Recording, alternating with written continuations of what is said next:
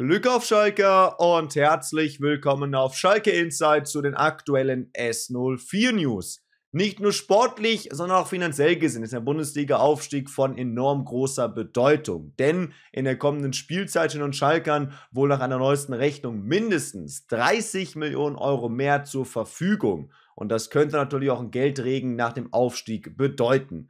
Denn wie die Sportbild vorrechnet, winkt dem Aufsteiger ein warmer Geldring für die Spielzeit 2023. Denn dann die Einnahmen aus TV-Verträgen sollen um rund 20 Millionen ansteigen. Das zeigt auch nochmal mehr, wie krass einfach die Differenz ist zwischen Bundesliga und zweiter Liga allein an TV-Geldern und das schon ein Riesenbatzen ist. Weiterhin äh, gibt es auch äh, gute Klauseln mit unseren Sponsoren, die festgelegt wurden, denn diese Zahlungen werden im Falle der Bundesliga-Rücke erhöht und dazu kommt es ja jetzt. Hier darf Schalke wohl mit rund 10 Millionen Euro Mehreinnahmen im Vergleich zur aktuellen Saison rechnen. Laut dem Magazin beträgt unser Budget für die kommende Saison dann ungefähr 38 Millionen Euro an Etat. Zum Vergleich, Arminia Bielefeld, aktuell Vorletzter, hat mit 25 Millionen Euro in der Bundesliga geplant. Also es wäre schon ein Budget, was für den Aufsteiger sehr, sehr gut wäre, mit dem man auch richtig was anfangen kann. Wäre jetzt aber auch kein utopisches Budget, wo wir irgendwie Schulden aufnehmen müssen, damit wir so viel Etat bezahlen könnten. Es wäre einfach ein solides, mutiges Budget für die Bundesliga.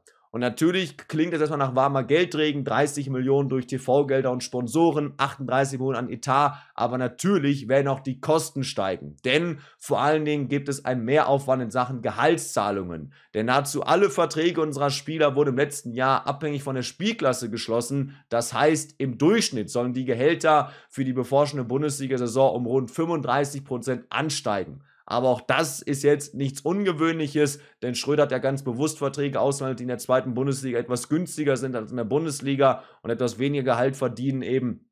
Und deswegen ist ja vollkommen logisch, dass die Gehälter jetzt ansteigen. Und um noch mehr Geld dann auch für den Bundesliga-Kader zu haben, plant wohl Schalke auch den Verkauf von weiteren Spielern. Natürlich sind da Spieler wie eben Matondo, Kabak, Arid als Leihspielerkandidaten, aber natürlich auch vielleicht Malik Chow, um einfach da auch wirklich nochmal ein besseres Budget zur Verfügung zu haben. Eure Meinung zu Schalkes Finanzplanungen mal gerne in die Kommentare und dann sehen wir uns im nächsten Video wieder. Macht es gut, ciao und Glück auf an alle Schalker.